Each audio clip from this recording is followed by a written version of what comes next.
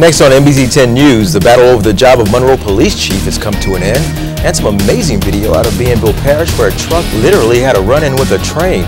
Plus, this heat is making for a very dangerous situation as wildfires spring up across Arkansas. That's next on NBC 10 News at 6. 10.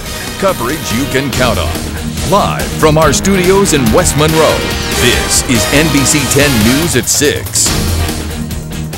Good evening, everybody. Thank you for choosing NBC 10 News. I'm Rudy Williams. Well, the saga involving Monroe's chief of police has come to an end. After a lengthy investigation, Monroe Police Chief Ron Schleuter is retiring. Now, this comes after the mayor demoted the chief to captain earlier this week for secretly recording their conversations. NBC 10's Nathan Ledford has our top story. It's almost six months since Monroe Chief of Police Ron Schleuter was caught hitting the record button. Recordings leaked to NBC 10 of the police chief recording Mayor Jamie Mayo without him knowing about it. Wednesday, the mayor read Schleuter's retirement letter. That I will retire as chief of police of the Monroe Police Department effective at the end of the work week. In February, Schleuter was put on paid leave until the investigation into his secret recordings ended. The discipline? Mayor Mayo ordered Schleuter to be demoted to captain rather than termination. Oh, And there have been many positive things that have occurred during his 30 year tenure. So I commend him for that.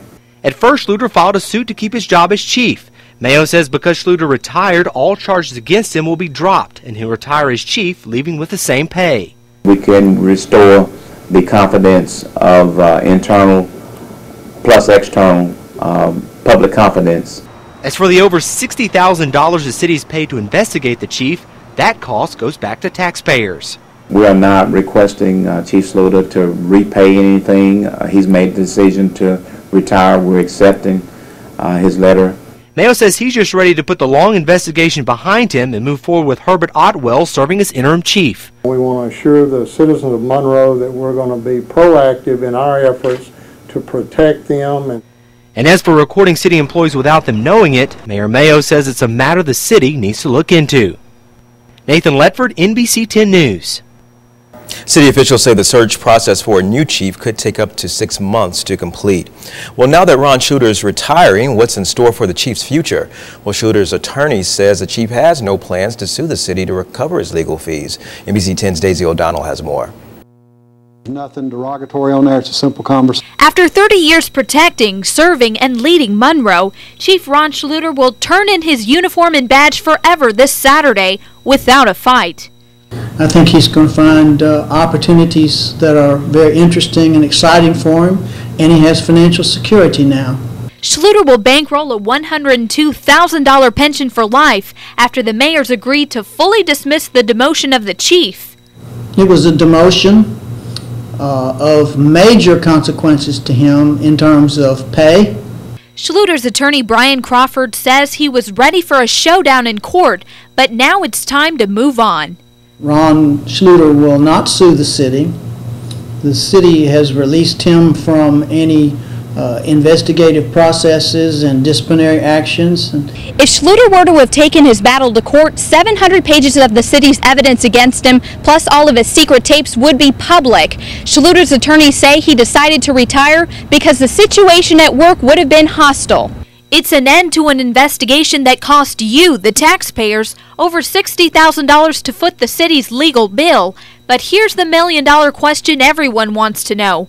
What was really on those tapes?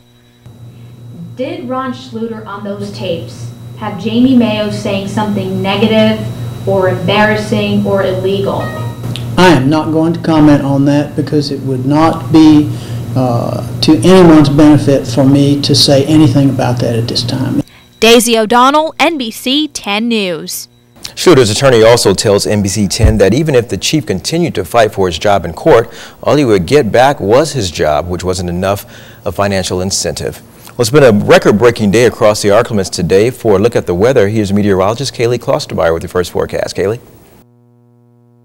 Scorcher across the region today. Currently in Monroe, we are at 102. It feels like 115 out there, so that's no surprise. We've been dealing with this for the past couple of days.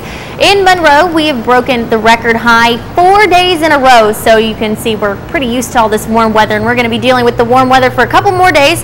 80 degrees for that overnight low tonight. A little dip in temperatures, 100 degrees for tomorrow with some isolated afternoon rain chances.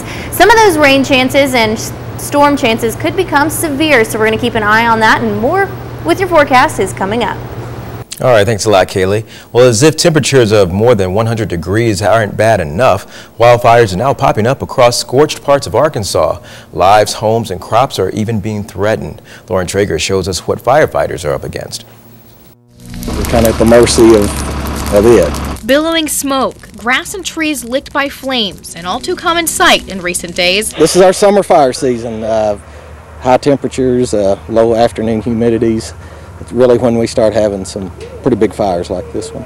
Tuesday afternoon, an estimated 50 acres caught fire on the Lonoke Prairie County line. Two days earlier, in Pulaski County, a fire crept near homes, too close for comfort. But here, it was money going up in smoke. This fire here is a hardwood plantation. I mean, there's significant value in the trees out here that are being burned. We went inside the fire line, with the first boots on the ground. Local fire departments stamping out what's still smoldering, trying to keep it from spreading.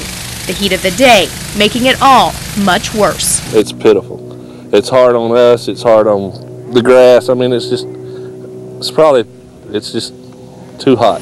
But then, in the sky, relief arrives. The Forestry Commission's planes releasing thousands of gallons of water. Then, with bulldozers cutting the brush, they finish the job.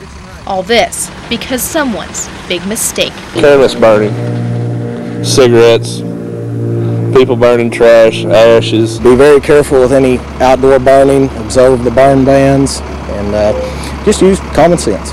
This advice, even as they know their work is never over. Another fire, only a matter of time. They don't get the message. It's every day now. You'll get it every day now.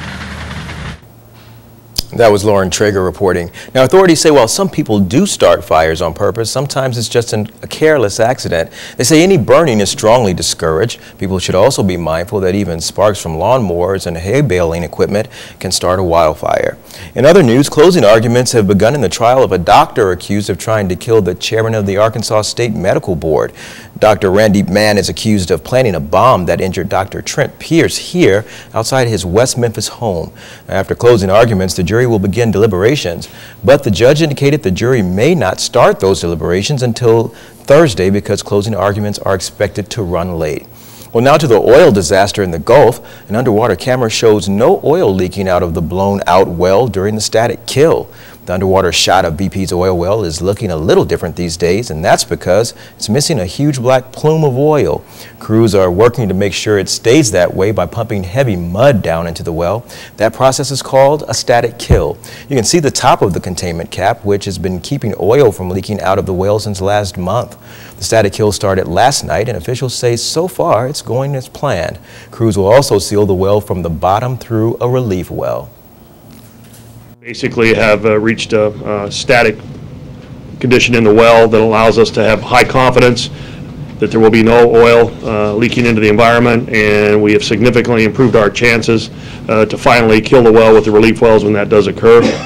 A White House energy advisor says the relief wells should be completed in the next two weeks. Well, up next, there's progress here in Monroe, too, and it's on the Monroe Airport Terminal. What's it going to look like inside? We'll tell you straight ahead. Wardrobe provided by the Toggery and her Toggery.